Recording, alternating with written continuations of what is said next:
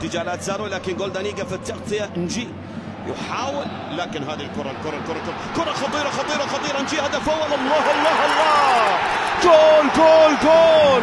سجل نجي اللايبيري هدف اول لتورينو خطأ. خطأ يدفع ثمنه. باهظ جدا كومو.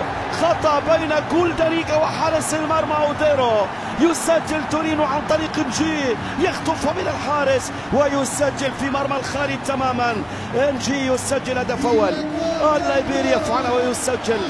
الصغير يسجل هدف أول لمصلحة التورو تورينو. هدف هدف هدف يسجل نجي نجي يسجل هدف في منتهى الروعة. الصغير نجي يسجل أول أهداف المباراة. أول أهداف المباراة صاحب 19 سنة وأول اهدافه في الدوري الإيطالي. نجي. شوف هذه الكرة باتجاه لاتزارو جولدانيجا شوف الخطأ.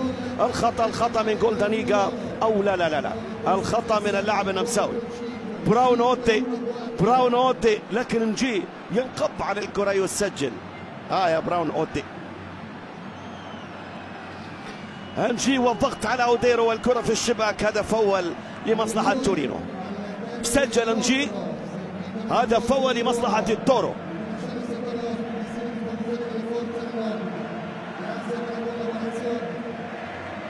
خطأ غير متوقع من جانب اللاعب النمساوي براون أودي.